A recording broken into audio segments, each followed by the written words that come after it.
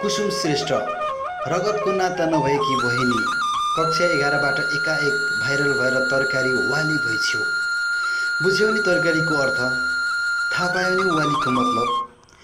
घरवाली बहारवाली वा त्यस्तै त्यस्तै भारतीयले दिने उपनाम कि बहादुर हो कि या यहाँ वाली? बहादुरहरूको बहादुरी तिमीले पनि देखिरहेको छौ प्रतिस्पर्धा छ पूजा अर्चनाको होइन? उनीहरूको चासो फगत।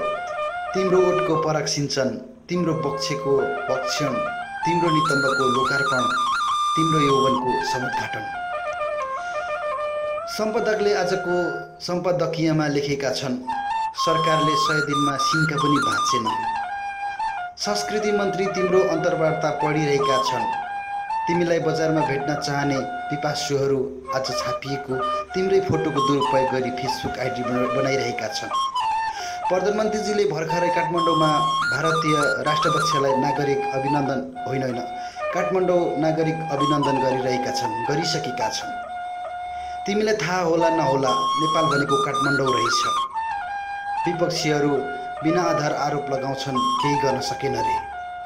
काठमाडौँको चासो बुझाउन केही गर्नु होइन र? कुसुम थाहा छ तिमीलाई काठमाडौँ तिम्रै खाल्डो हो। यो खाल्डोको साँचो भारतीय प्रणब मुखर्जीले लिएर गए। र तिम्रो पुर्खाहरू तिमी आफ्नो फोटो भाइरल भएकोमा मखाउ छेउ अब देख्नेछौ चरित्रको विचित्र चरित्र भर्खर त तिम्रो कुर्ता उतारेर फोटोसुट भएको छ।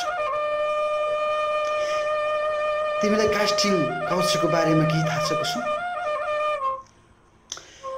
र यो हामीले लेख पूर्ण रूपमा पढ्नको लागि तपाईँ लाली गुराँस जान सक्नुहुन्छ र यो लेखेको छ राम गोपाल असुतोषले।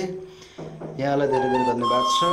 बाँकी कुरा तपाईँले वेबसाइटबाट हेर्न सक्नुहुन्छ।